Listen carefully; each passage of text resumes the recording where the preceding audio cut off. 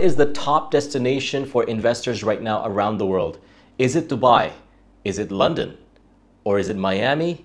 Or is there another better option out there? Stay tuned to watch the entire video and I'm gonna share with you a great destination with very high returns and very high capital appreciation. Let's get into it.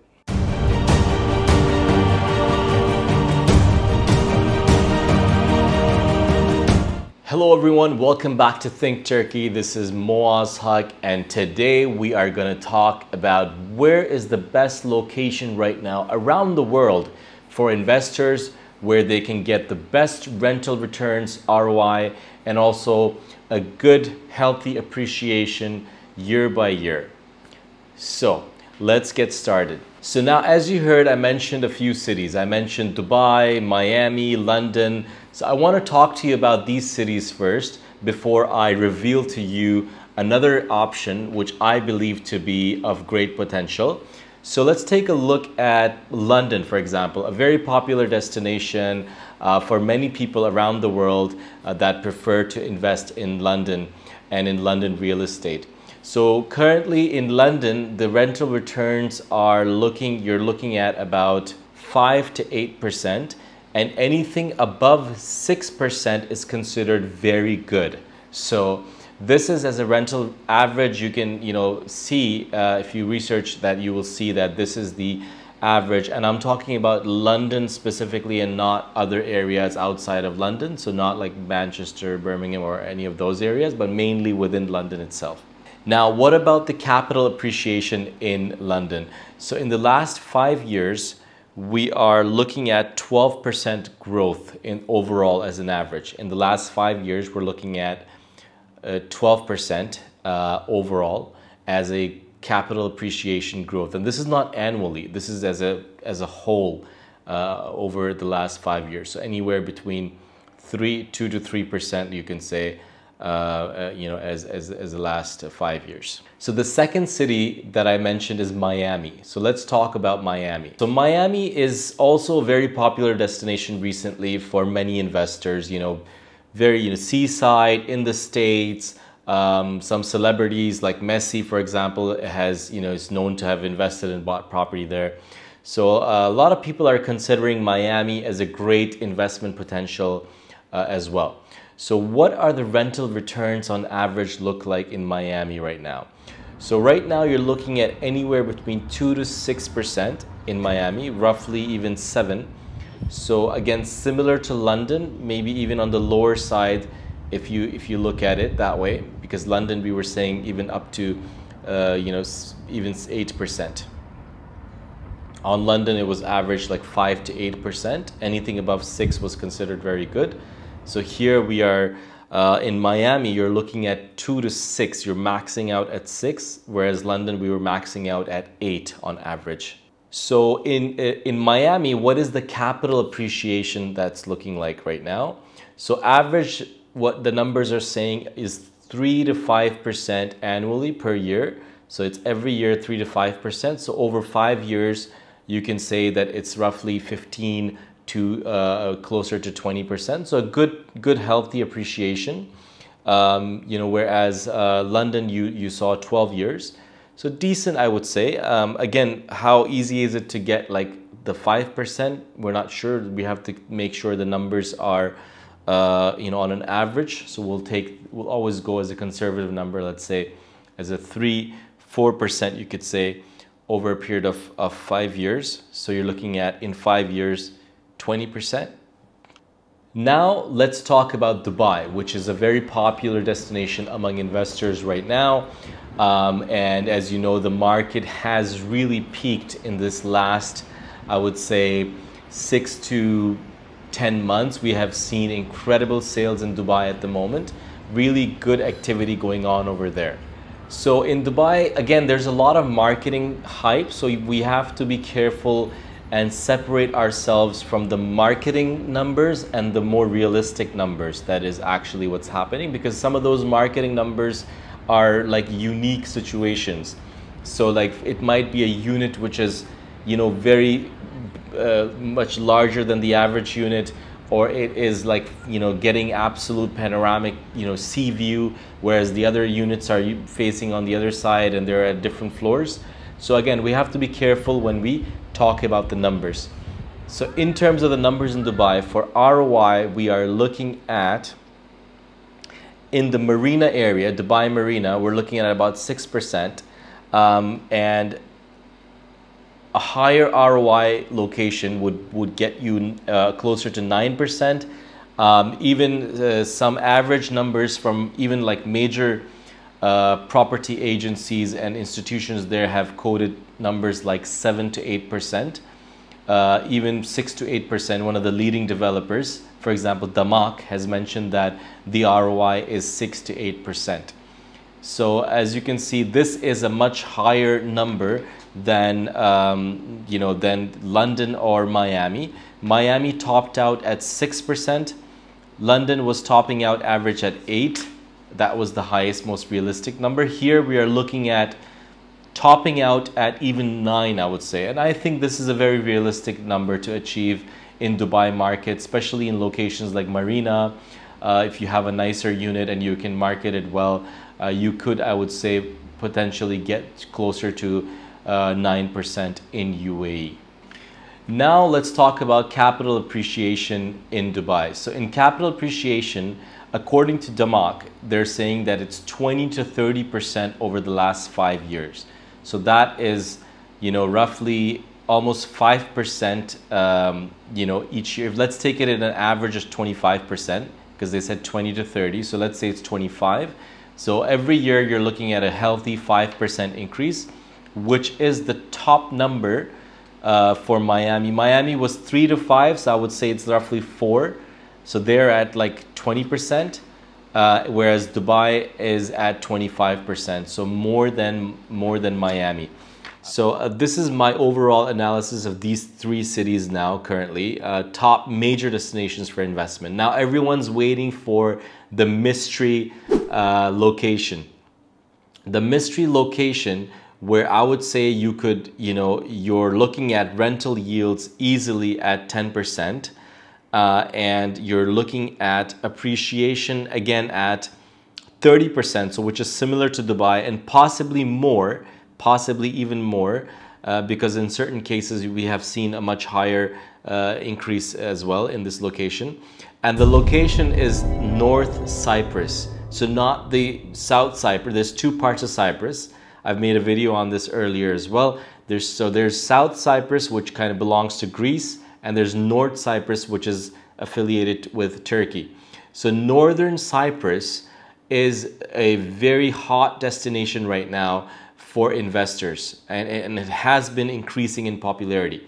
It has been named by Forbes in the last apparently three to four years. Even if you look at look it up right now, Forbes, uh, you know, best beach holiday destinations or investment destinations for holiday property, beachfront properties, you will see uh, this uh, location, uh, Northern Cyprus, in there, along with many South American destinations as well.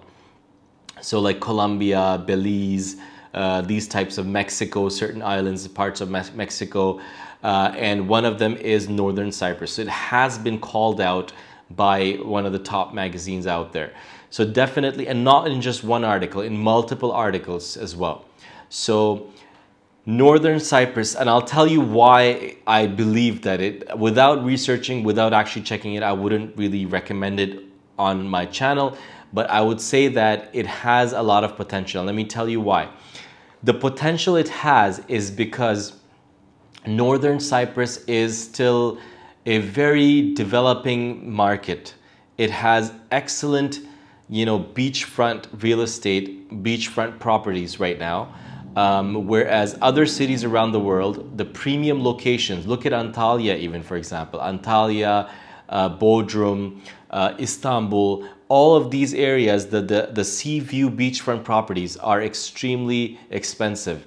You cannot find anything less than, you know, 500,000, 600,000 uh, and above uh, dollars, uh, you know, and above. So these are very, you know, in Alanya, again, you can get lucky at times as well. Definitely, as in Alanya, there's still potential. But again, we're talking about average type of developments. These are not very fancy developments. When it comes to fancy construction, like hotel style construction, you would not get it in Alanya, uh, unfortunately, at that, at that price that you're getting it here.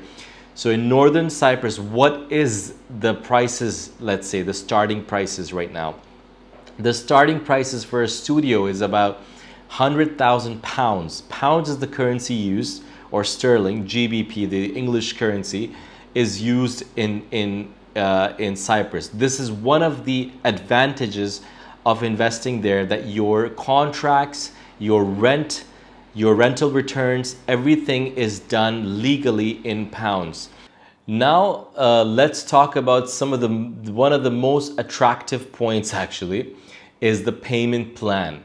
This is uncompetable right now in the market, and I'll tell you why. Like payment plans like this are, you know, usually, for example, usually what you see is that, you know, you have a down payment of, let's say, anywhere between, you know, 50%, 40%, and then the rest you're paying in about one year or two years time, right? This is what a normal development payment plan looks like in most places. But here is, is the type of payment plan, which I'll tell you, is that you're paying 35% down payment, right? So you pay the 35% down payment. Uh, then you're paying in 36 months, you're paying the remaining 35%, which is three years right? Then in the, then the remainder of the 30%, so so far you've paid 70%, right? Three, so for, let's say, let's give you an example. So starting prices are is about 100,000 pounds. So you pay $35,000, uh, 35,000 pounds as a down payment, right? This is easy. Uh, if you've got 35,000 pounds saved up, which is uh, still a pretty decent amount, but it's it's manageable amount for people to save, right? You can save this much money within a, within a few years. So you've got this much, you put it down. Now, you have three years to pay the remainder of the 35%. All right? So this 35%, 35,000 pounds, if you divide that into three, is roughly like 12,000 uh, pounds in a year, which is a thousand pounds a month, right? So again, 12,000, 11,000 pounds in a year over three years is not that big of a, uh, uh, you know, a commitment. So that is doable too. Then you have the final 20%, uh, which is the best part. So the last 20%, uh, the last 30% is payable after you get the key. So now you got the key, the, the place has been is being managed professionally, it has been put on rent, and your expected ROI, rental ROI, is anywhere between 10 to 14%. So an average of 12 is achievable. So you're looking at 12,000 pounds net in your pocket. So basically your monthly payments from the last 30 from the last 30% is now, you know, paid off just by getting the rent. Let's say that it's short uh, for, a, you know, few months here and there and you have to make up for that like an extra thousand pound here and there in the per every year that's fine. But overall if you look at it it is making like to me this makes a lot of sense. Now this kind of deal does happen from time to time in, in the UAE you do see in Dubai a few offers might come up but they are snapped up like this so you you can not catch them that easily uh, you know where you have that much extended payment plans so, and the other thing is that with UAE is a great destination. I love UAE as a you know place to invest, place to live. It's great. It has a lot of potential. Um, but I would say that you know for those people who are looking at a bit of a you know not that much mature market, but a more developing market, more more nature. It's more natural areas. You've got greenery. You've got like the the temperature is a lot more uh, manageable. You know, in Dubai, for some people, it's too hot. They just come there and they just can't manage it, especially in the in the summer months. It's extremely hot, and that is one of the most hottest regions on on Earth. Basically, that Persian Gulf area. Uh, you know that has reached record numbers in the past. It's always been the, one of the hottest climates areas of the entire world. So for some people, at times it can be unmanageable. Um, so in that case, I would say if you are looking for a place which has potential to grow in the future, right? I'm talking about appreciation. I'm talking about a place where it has room to grow.